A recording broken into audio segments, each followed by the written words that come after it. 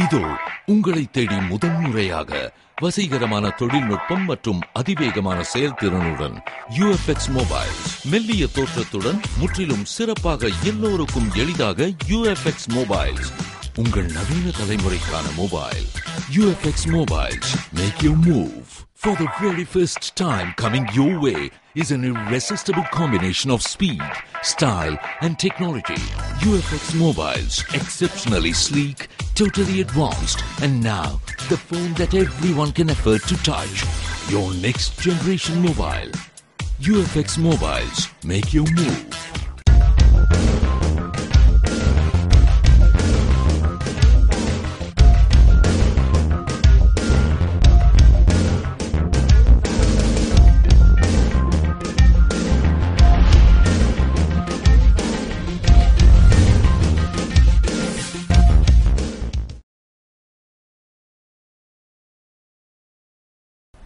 வணக்கம்.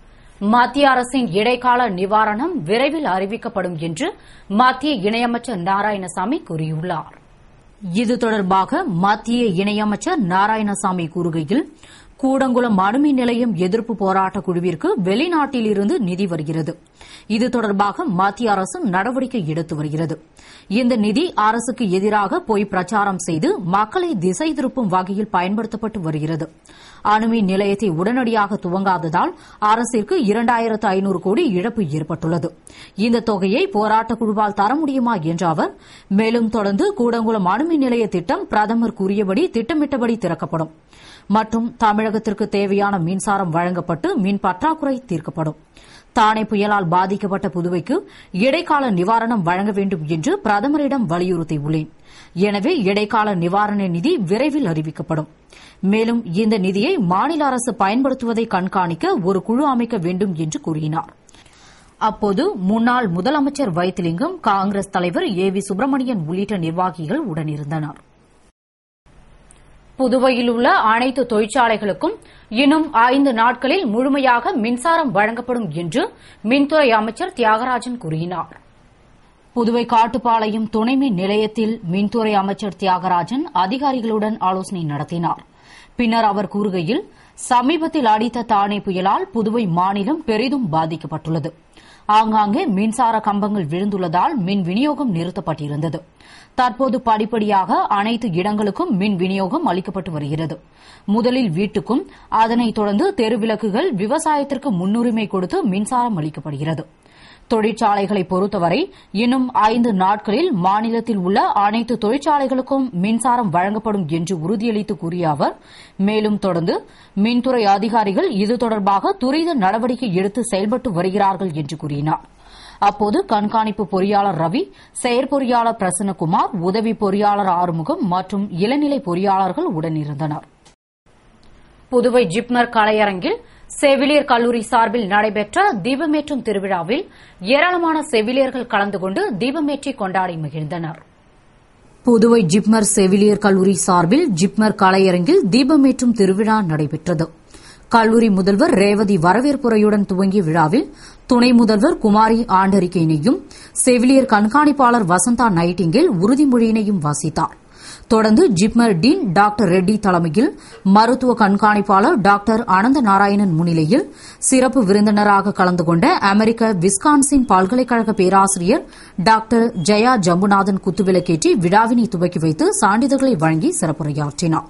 விழாவில் மாணவிகள் அணிவகுப்பு நடத்தி புதிய மாணவிகளை மலர்கயிறு கொண்டு வரவேற்று தீபமேற்றி கொண்டாடி மகிழ்ந்தனா் பேராசிரியர் ரமேஷ் நன்றியுரையுடன் முடிந்த விழாவிற்கான ஏற்பாடுகளை ஜிப்மர் செவிலியர் கல்லூரி மாணவ மாணவிகள் பேராசிரியர்கள் செய்திருந்தனர்.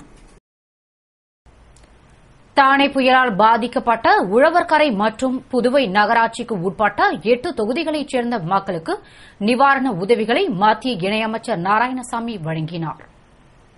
புதுவையில் தானே புயல் தாக்கத்தை முன்னிட்டு உழவர்கரை மற்றும் புதுவை நகராட்சிக்கு உட்பட்ட எட்டு தொகுதியைச் சேர்ந்த பாதிக்கப்பட்ட மக்களுக்கு காங்கிரஸ் சார்பில் நிவாரண உதவி வழங்குவது என்று முடிவு செய்யப்பட்டது. அதன்படி ஒவ்வொரு தொகுதியைச் சேர்ந்த பொறுப்பாளர்கள் மற்றும் வட்டார காங்கிரஸ் தலைவர்கள் மூலம் நிவாரண உதவிகளை வழங்குமாறு பொருட்களை வழங்கும் நிகழ்ச்சி மத்திய இணையமைச்சர் அலுவலகத்தில் நடைபெற்றது. நிகழ்ச்சியில் மத்திய இணையமைச்சர் திரு நாராயணசாமி கதிர்காமம் தொகுதி பொறுப்பாளர் திரு பெத்தபெருமாள் இந்திரா நகர் தொகுதி பொறுப்பாளரும் கதிர்காமம் வட்டார காங்கிரஸ் தலைவருமான திரு ஏ கே டி ஆறுமுகம் உள்ளிட்ட எட்டு தொகுதி பொறுப்பாளர்களிடம் நிவாரணப் பொருட்களை வழங்கினார். இந்த நிவாரணப் பொருட்களை வாங்கிக் கொண்ட தொகுதி பொறுப்பாளர்கள் மற்றும் வட்டார காங்கிரஸ் தலைவர்கள் அந்தந்த தொகுதியில் புயலால் பாதிக்கப்பட்ட மக்களுக்கு அதனை வழங்குவார்கள். நிகழ்ச்சியில் காங்கிரஸ் தலைவர் திரு ஏ வி சுப்பிரமணியன் எதிர்க்கட்சித் தலைவர் திரு வைத்திலிங்கம் முன்னாள் அமைச்சர் வல்சராஜ் உள்ளிட்ட நிர்வாகிகள் பலர் கலந்து கொண்டனர். தானே புயலால் பாதிக்கப்பட்ட புதுவைக்கு இடைக்கால நிவாரணமாக ஆயிரத்து ஐநூறு கோடி மத்திய அரசு வழங்க வேண்டும் என்று இந்திய ஜனநாயக கட்சியின் நிறுவன தலைவர் பச்சமுத்து கூறியுள்ளார். புதுவையில் புயலால் பாதிக்கப்பட்ட இடங்களை இந்திய ஜனநாயக கட்சியின் நிறுவன தலைவர் பச்சமுத்து பார்வையிட்டார். பின்னர் ரீனா மஹாலில் நடைபெற்ற நிவாரணம் வழங்கும் நிகழ்ச்சியில் பாதிக்கப்பட்ட மக்களுக்கு பத்து லட்சம் செலவில் நிவாரணப் பொருட்களை வழங்கி ஆறுதல் கூறினார். அப்போது அவருடன் கட்சி நிர்வாகி புதுவை மாநில அமைப்பாளர் சத்யவேல் மற்றும் பலரும் உடனிருந்தனர். இதனையடுத்து அவர் செய்தியாளர்களுக்கு அளித்த பேட்டியில் தானே புயலால் புதுவையில் பெருமளவு பாதிப்பு ஏற்பட்டுள்ளது. எனவே மத்திய அரசிடமிருந்து காலதாமதம் ஏற்படாமல் நிதியை கேட்டு பெற முதல்வர் நடவடிக்கை எடுக்க வேண்டும். மத்திய அரசு உடனடியாக இடைக்கால நிவாரணமாக ஆயிரத்து ஐநூறு கோடி வழங்க வேண்டும். அதன் மூலம் மக்களுக்கு தேவையான அடிப்படை வசதிகளை செய்து தர வேண்டும். மற்றும் அனைத்து ரேஷன் கார்டுகளுக்கும் நிவாரணத் தொகை இரண்டாயிரத்திற்கு பதிலாக பத்தாயிரமாக உயர்த்தி வழங்க வேண்டும் என்று கூறினார். தானே புயலால் பாதிக்கப்பட்ட காமராஜர் தொகுதிக்குட்பட்ட பகுதிகளை இருசக்கர வாகனத்தில் சென்று பார்வையிட்ட எதிர்க்கட்சித் தலைவர் திரு வைத்திலிங்கம் பாதிக்கப்பட்ட மக்களுக்கு ஆறுதல் கூறி நிவாரண உதவிகள் விரைவில் கிடைக்க நடவடிக்கை எடுக்கப்படும் என்று உறுதியளித்தார். புதுவையில் தானே புயல் தாக்குதலால் பல்வேறு பகுதிகள் பாதிக்கப்பட்டன. இந்நிலையில் புயலால் பாதிக்கப்பட்ட காமராஜர் தொகுதிக்கு உட்பட்ட எழில் நகர் கிருஷ்ணா நகர் ரெயின்போ நகர் உள்ளிட்ட பகுதிகளை பார்வையிட்ட தொகுதியின் சட்டமன்ற உறுப்பினரும் முன்னாள் முதல்வரும் எதிர்க்கட்சித் தலைவருமான திரு வைத்திலிங்கம் பாதிக்கப்பட்ட மக்களுக்கு ஆறுதல் கூறி வீடு வீடாக சென்று சேத மதிப்புகளை ஆய்வு செய்து உரிய நிவாரணம் கிடைத்திட நடவடிக்கை எடுப்பதாக உறுதியளித்தார். இதனால் பாதிக்கப்பட்ட மக்கள் மகிழ்ச்சி அடைந்தனர். அதனைத் தொடர்ந்து தொகுதிக்கு உட்பட்ட பகுதிகளில் மழைநீரை உடனடியாக வெளியேற்றும் விதமாக வாய்க்கால்களை அமைப்பது தொடர்பாக அதிகாரிகளுடன் ஆலோசனை நடத்தி மழைநீர் தேங்கா வண்ணம் வாய்க்கால்களை எப்படி அமைப்பது என்று அறிவுறுத்தினார். அப்போது காங்கிரஸ் பிரமுகர்கள் ஊர் முக்கிய பிரமுகர்கள் பலர் உடனிருந்தனர். இந்த ஆய்வின் போது எதிர்க்கட்சித் தலைவரும் தொகுதியின் சட்டமன்ற உறுப்பினருமான திரு வைத்திலிங்கம் அனைத்து பகுதிகளுக்கும் இருசக்கர வாகனத்தில் சென்றார் என்பது குறிப்பிடத்தக்கது. பாகுபாடின்றி நிவாரணம் வழங்காவிட்டால் புதுவை ஸ்தம்பிக்கும் வகையில் மாபெரும் போராட்டம் நடத்துவோம் என்று புயலால் பாதிக்கப்பட்ட இடங்களை பார்வையிட்ட பாராளுமன்ற உறுப்பினர் கண்ணன் கூறினார். புதுவையில் தானே புயலால் பாதிக்கப்பட்ட வீராம்பட்டினம் சின்ன வீராம்பட்டினம் நல்லவாடு பனித்திட்டு நரம்பை மூர்த்திக்குப்பம் புரணாங்குப்பம் ஓடைவெளி மணவெளி உள்ளிட்ட பல்வேறு பகுதிகளை பாராளுமன்ற உறுப்பினர் கண்ணன் பார்வையிட்டு பாதிக்கப்பட்ட மக்களுக்கு ஆறுதல் கூறினார். பின்னர் செய்தியாளர்களிடம் கூறுகையில் புயலால் விவசாயிகள் பெருமளவு பாதிக்கப்பட்டுள்ளதால் வங்கிகளில் விவசாயிகள் பெற்ற எல்லா கடன்களையும் அரசு ரத்து செய்ய வேண்டும். மீனவர்களுக்கு நூறு சதவீத நஷ்டஈடு உடனே வழங்க வேண்டும். அவர்களின் கடன்களை ரத்து செய்து மீண்டும் மீன்பிடிக்க செல்லும் வரை மீனவ குடும்பங்களுக்கு மாதம் ஆறாயிரம் அல்லது ஏழாயிரம் வழங்க வேண்டும். புயலில் இறந்தவர்கள் சீரமைப்பு பணியின் போது இறந்தவர்களுக்கு தலா இரண்டு லட்சம் வழங்கப்படும் என அரசு அறிவித்துள்ளது. அவர்களுக்கு தலா பத்து லட்சம் வழங்க வேண்டும். மத்திய அரசு நூறு சதவிகித நிதியுதவியை அளிக்கும். அதனை முழுவதுமாக நிவாரணப் பணிக்கு பயன்படுத்த வேண்டும். மேலும் புயலால் பாதிக்கப்பட்ட மக்களுக்கு பாகுபாடின்றி உரிய நிவாரணம் வழங்க வேண்டும். அப்படி வழங்காவிட்டால் மக்களோடு மக்களாக சேர்ந்து புதுவை ஸ்தம்பிக்கும் வகையில் போராட்டம் நடத்துவோம் என்று கூறினார். அப்போது சட்டமன்ற உறுப்பினர் லட்சுமி நாராயணன் பொதுச் செயலாளர் வெற்றி செல்வம் வட்டார காங்கிரஸ் தலைவர்கள் திருமுருகன் முரளி சரவணன் விஸ்வநாதன் தியாகி தண்டபாணி உள்பட பலர் உடனிருந்தனர். புயலால் பலியான பஸ்கால் குடும்பத்திற்கு நிவாரண உதவியாக இரண்டு லட்சம் ரூபாயினை முதல்வர் ரங்கசாமி வழங்கினார். புதுவையை தாக்கிய தானே புயலால் சூறாவளி காற்றினால் மரங்கள் விழுந்து பஸ்கால் என்பவர் பலியானார்.